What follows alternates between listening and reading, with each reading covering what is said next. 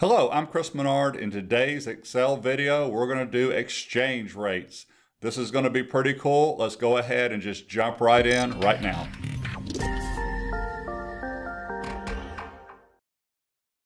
Over in column B, I've already got some exchange rates, US dollar to different other countries.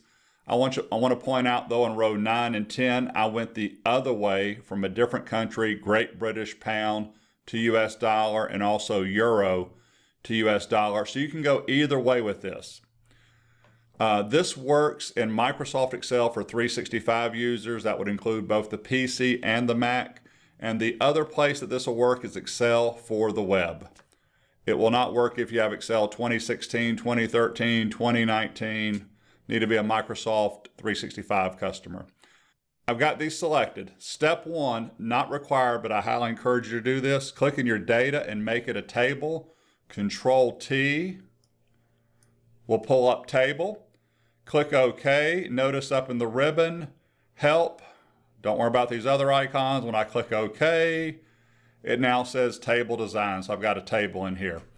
The reason that you want to make this a table is after you change this to the data type currency, the header rows will fill in in column C1, D1, E1, F1 in those cells. If you don't make it a table, the data still works, but you don't get your header rows. So step two is after you make it a table, select them, go to the Data tab, Data Types Group. I've covered almost every one of these in a previous video, but I have not done currencies yet. I'm going to click on Currencies. Watch. You do need to have an internet connection. That's why I have that special icon there next to them. Here's my reason for making it a table. When I come here to add columns, uh, you've got all these different fields to choose from. I'm not going to do every one. I'll do at least four. The first one, though, I want to start off with is the price. So here's the price. If I did not make this a table, I would not get price in cell C1. Next one I want to do is what is the, I'm just picking this up, instrument type.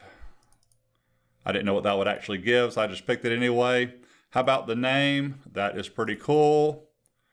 Keep on going. Let's go to the 52 week high, 52 week low, one more. Um, last trade time. There you go right there. Currency data type. Really, it's column C that I'm worried about. In case you're wondering, I wanted to test this. If you notice, row number five is US dollars to Great British Pounds. Control V, I've already put this on my clipboard. 0.76, 0.76. I just wanted to point out that it is accurate because I was worried about that. And if you notice in row 9, I went the other way I took Great British Pounds to US dollars and it's 1.32. Let me know if you like this video. I love these data types. I use them all the time. Feel free to subscribe if you have any comments or questions. Put them down below. Thank you.